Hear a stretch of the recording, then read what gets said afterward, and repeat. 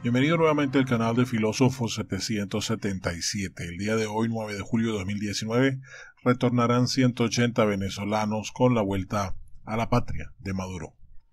Con ese famoso plan para ayudar a retornar a los venezolanos que se encuentran bajo el engaño.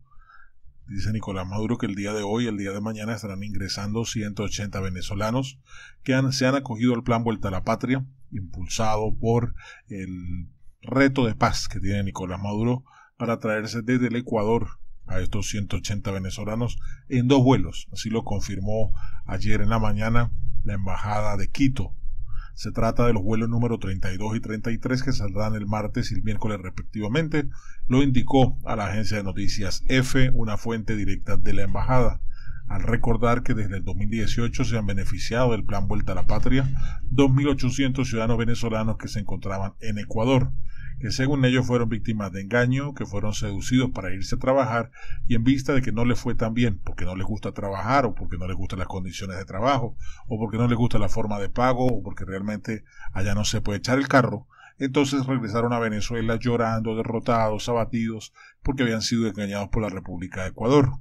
Y perdóneme el sarcasmo, pero es una gran realidad. Muchos vendepatria, muchos de estos desgraciados que se han ido, son vendepatrias chavistas, que han llegado a ese país y cuando les dicen que tienen que trabajar para ganarse los soles, para ganarse los sucres, para ganarse los dólares, tienen que darle duro, entonces terminan eh, recordando que aquí en Venezuela se regalan cajas clap a cambio de votos y estos desgraciados regresan al país con las manos en el bolsillo o con las manos extendidas esperando ser parte de eh, la milicia bolivariana para ver si los ponen a caminar con cajas.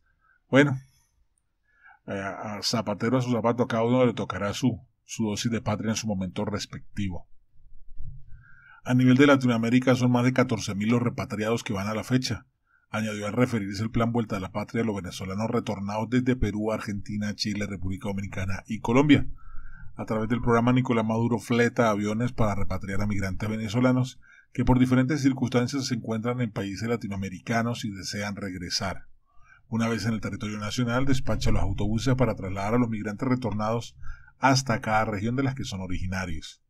La situación económica acuciante empuja a muchos venezolanos a querer regresar a su país pese a la situación de la precariedad y carestía de la vida en su nación.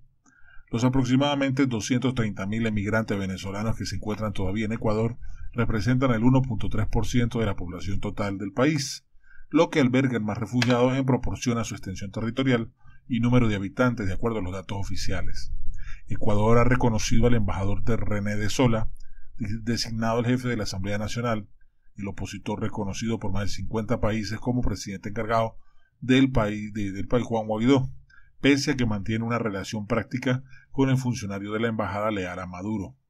La semana pasada tuvo lugar en Argentina la cuarta reunión sobre migración Venezuela en América Latina, la primera que se realiza fuera de Quito con las intenciones de avanzar en las propuestas reclamadas en el pasado como una identificación para migrantes y mayor coordinación entre las políticas de acogida.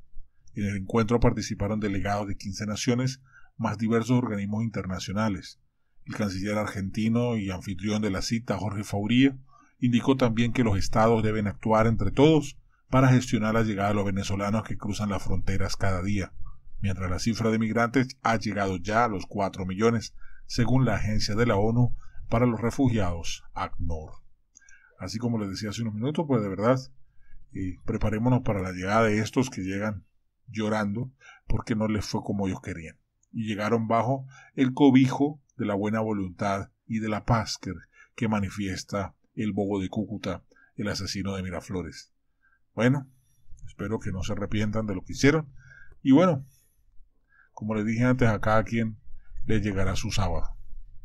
Justicia normal o justicia divina pero de que les llega, les llega. Hasta aquí la información, les habló como siempre su hermano y amigo filósofo 777. Un abrazo rompe costillas para todos, mil bendiciones.